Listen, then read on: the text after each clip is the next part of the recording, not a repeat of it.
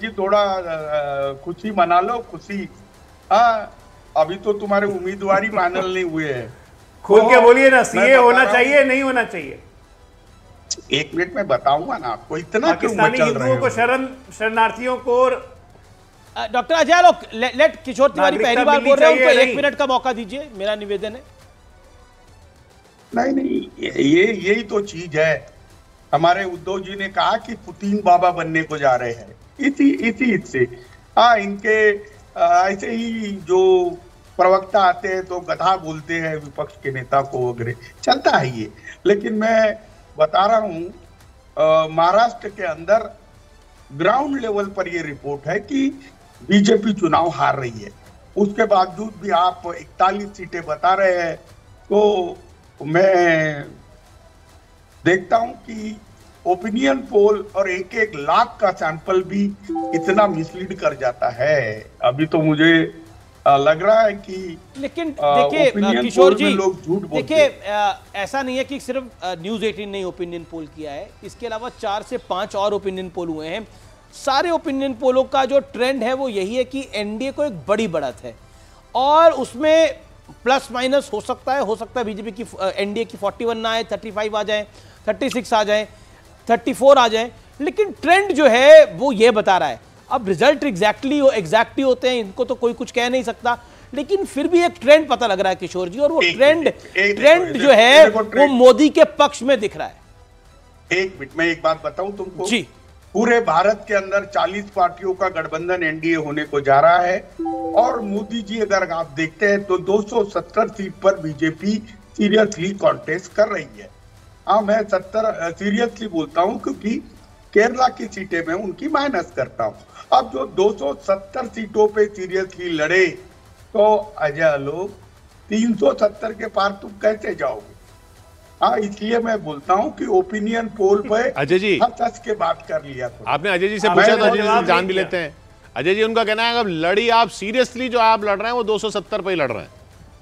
हाँ बराबर बोला आपने। प्रभु को क्या बताऊँ मैं? प्र, प्रभु को क्या बताऊँ? प्रभु दो 226 सीटों पे हम लगभग 60 प्रतिशत मत पाए थे। 45 से 50 प्रतिशत सीट हमारे 55 सीटें हैं। तो 226 से 55 जोड़ लीजिए 280 तो ऐसे ही हो गया। कहाँ हैं आप? किसी दुनिया में रह के बात कर रहे हैं। अपने महाराष्ट्र में देखिए हम आपकी जो एमपी जीते थे शिवसेना के वो नरेंद्र मोदी के नाम लेके जीते थे। नहीं तो पाँच सीटें नहीं आती हैं आपको। अकेले लड़े थे हमसे हट के तो पचास बावन पे सिमट गए थे ना विधानसभा में। और उसके पहले भी ये 2014 में भी। लेकिन तभी सबक सीखा नहीं चीफ मिनिस्टर बनने की धुन चढ़ी हुई थी। अरे- अरे अभी मैं आपसे पूछ रहा हूँ बस मुझे जवाब दे दीजिए किशोर जी। सीएए का समर्थन करेंगे उद्धव ठाकरे? पाकिस्तानी हिंदू सिख बौद्ध जैन ईसाई को भारत की नागरिकता मिलनी चाहिए या नहीं मिलनी चाहिए? आज गृह मंत्री अमित शाह ने भी ये स्पष्ट सवाल पूछा है। दाएँ बाएँ अपने नहीं। एक साक्षात्कार में उसका जवाब Kishore Tiwari. Uddhav Thackeray Shiv Sena support CAA. नहीं मैं अभी बता रहा हूँ और मैं मेरा देश सेकुलर देश है नागरिकता तो सभी लोगों को देनी चाहिए और नागरिकता में हिंदुओं पर भारत ये हिंदू राष्ट्र है और हिंदुओं का अधिकारों की जतन होना अभी चाहिए बोलते हैं बात सेकुलर है फिर कहते हिंदू राष्ट्र है। अरे एक मिनट मेरी बात तो सुनो मैं बता सेकुलर है रहा कि हिंदू राष्ट्र? है अरे भाई ये हिंदुओं की भूमि है ये सनातन भूमि है। और मैं एक मेरी बात तो पूरी तो सीए लागू होना चाहिए कि नहीं? विवेक ये हिंदुओं की भूमि है सनातन भूमि है मतलब अलायंस आप ही का ही पार्टनर बोल रहा है तो आपको क्या कहना चाहेंगे? नहीं नहीं ये वो तो की। है। वो वो कल्चर के हिसाब से कह रहे हैं भाई वो मेजोरिटी के कल्चर की बात बीजेपी हैं। कौन सा? कल्चर के हिसाब से नहीं बोलती। मतलब अगर वीएचपी बोलती है माफ़ करिए बीजेपी नहीं अरे वीएचपी अरे अरे भाई मुझे मुझे बोलो। अच्छा इनको बोलो। भारत का संविधान खतरे में है इसलिए हम कांग्रेस के साथ एक बात समझ लो।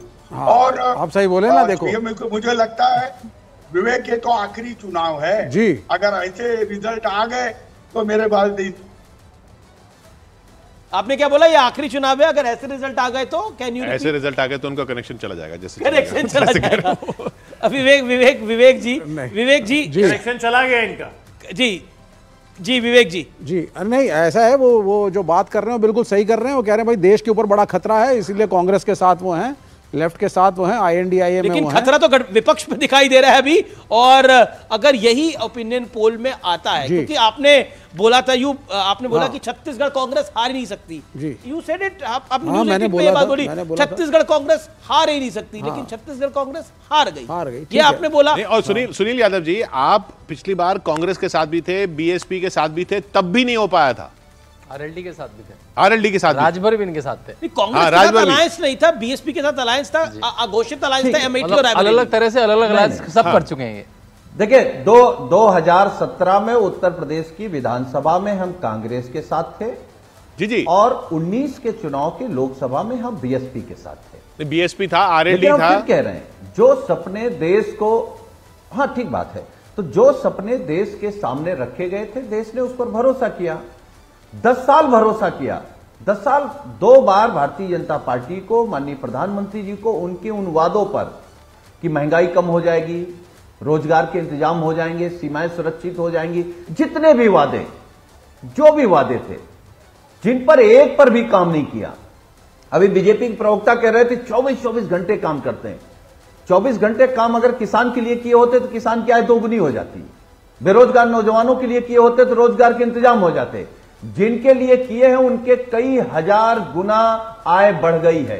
अब कहिए तो गिना दें उसमें आपके मालिक भी होंगे आप कह रहे हैं अब- लोग भी आप कह रहे हैं तो अब भरोसा कायम नहीं है प्रधानमंत्री पर? जी ने काम किया है आप कह रहे हैं प्रधानमंत्री पर भरोसा नहीं है अब जबकि हर तरह का आंकलन ये कह रहा है कि प्रधानमंत्री पर भी भरोसा है। है। सिर्फ़ हमारा ओपिनियन पोल नहीं करा तमाम ओपिनियन पोल भरोसा करा रहे हैं। टूटा है क्योंकि माननीय सुनील जी, तोड़ा सुनील जी ये मैंने और किशोर में घर ने घर में बैठ के तो ओपिनियन पोल करा नहीं है हमारा ओपिनियन पोल नहीं कह रहा यानी न्यूज़ 18 का ओपिनियन पोल नहीं कह रहा है अभी तक जितने ओपिनियन पोल आए हैं लीडिंग मीडिया ऑर्गेनाइजेशंस के या फिर बड़े बड़े एजेंसीज के उन सब ये वो तमाम ओपिनियन पोल ये कह रहे हैं। Point number one point number two international agencies हाँ।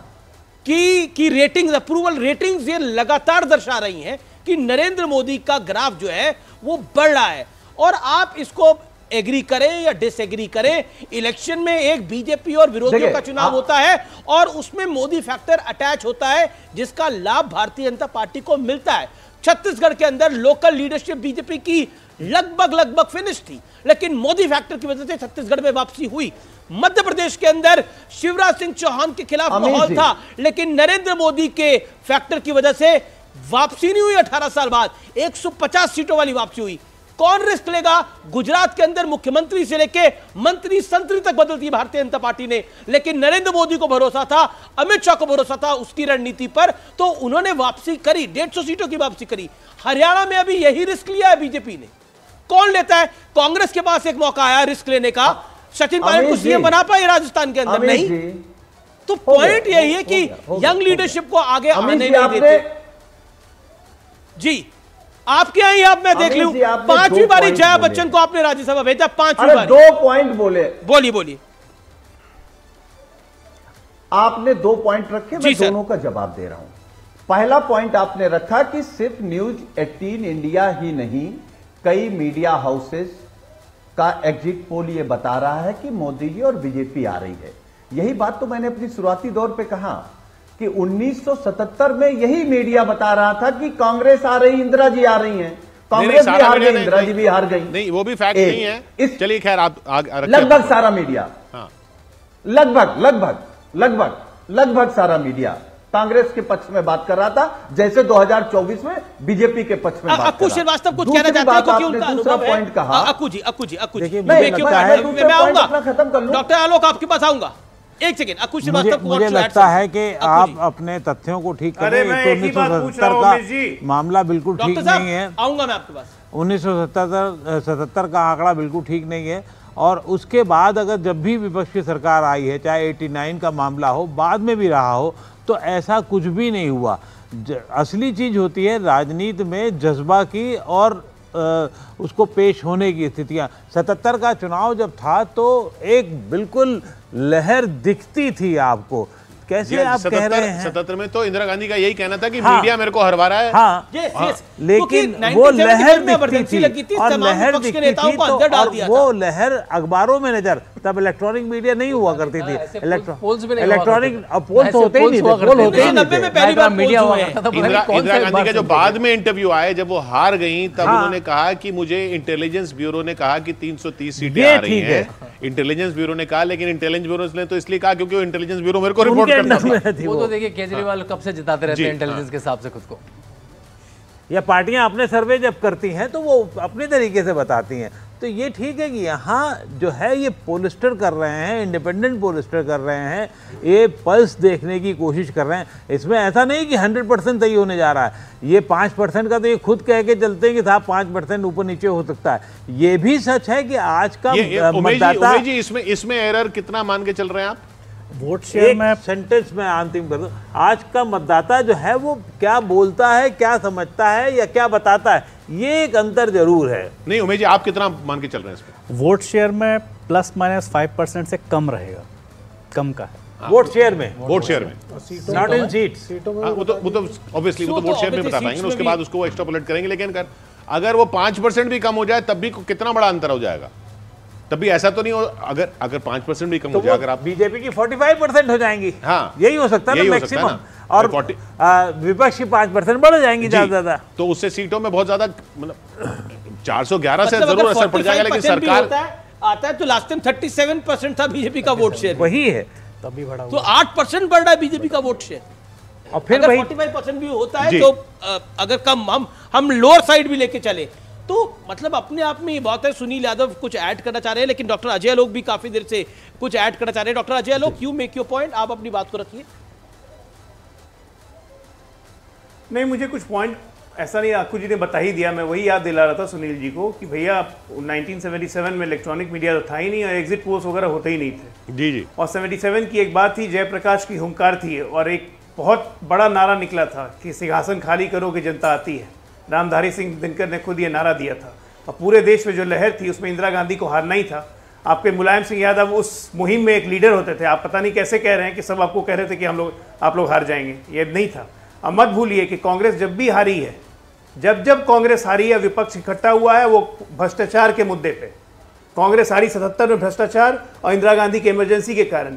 89 में फोर्स का मुद्दा था। ये 10 साल में आपने हमारे खिलाफ आज तक तो एक आरोप नहीं लगा पाया भ्रष्टाचार का।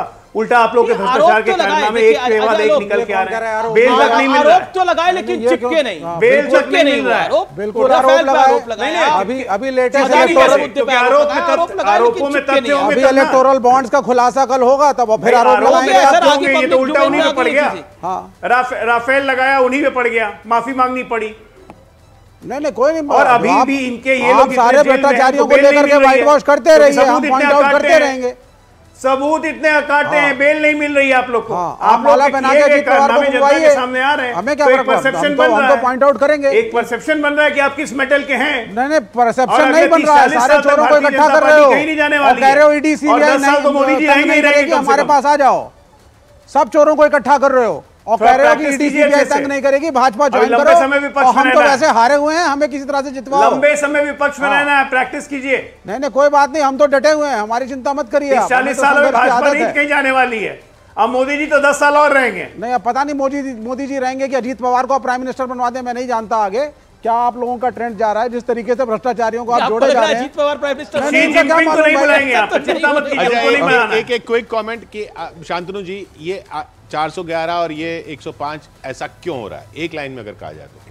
देखिए मेरे ख्याल से मोदी का काम है और जिस तरह से उन्होंने बेनिफिशियरी वोटर को कंसोलिडेट करा है और इधर से उन्होंने हिंदू हिंदू वोट को कंसोलिडेट करा है। तो जो जात के नाम का वोट है वो हिंदू वोट पे पड़ रहा है और, और बेनिफिशियरी वोटर के नाम पे पड़ रहा है। ये केवल प्रो इनकमेंसी हम सुनते नहीं थे दस साल पहले न्यूज़ रूम्स में प्रो इनकमेंसी एक नॉर्म ऑफ़ द डे है। उसकी वजह से चुनाव आ रहा है। सादा सादी बात। इन्होंने इस पे एक पुस्तक भी लिखी है जो जी, बिल्कुल, मैंने 101 कारण कि। पढ़ ली और आज ट्विटर पे और ट्रेंड करिए तो बिल्कुल। मैं कह रहा हूँ कि आप आप और किताबें लिखे लेकिन अकुश श्रीवास्तव अ, कारण क्या है? मतलब ये इस जो किशोर ने बात एक लाइन में क्या है उसका जवाब? कारण उसका यह है कि जो देश की समस्याएँ हैं उनको एक हल करने की कोशिश है।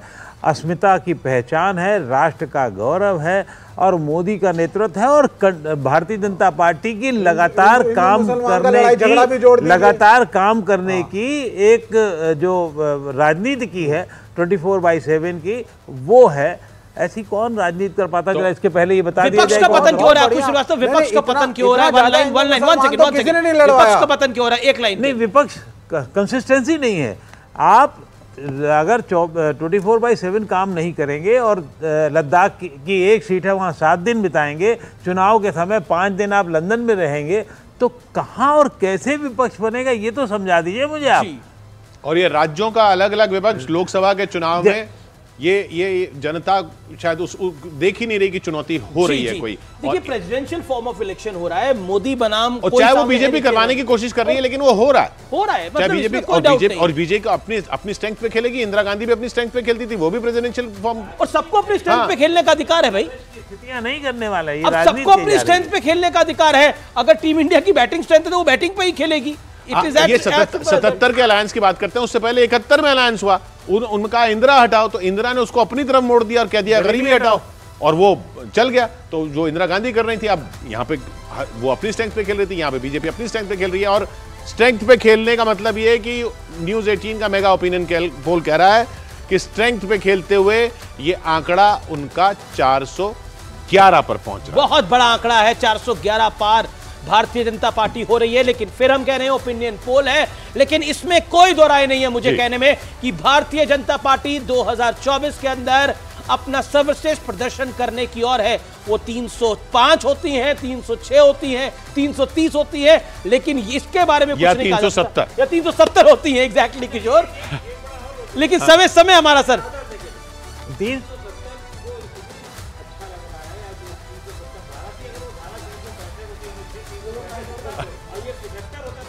जी जी जी जी चलिए। किशोर। तो यहाँ पे ब्रेक ले रहे हैं और ब्रेक पर जाते हुए बता दें आपको 411 105 ये कह रहा है न्यूज़ 18 का मेगा ओपिनियन पोल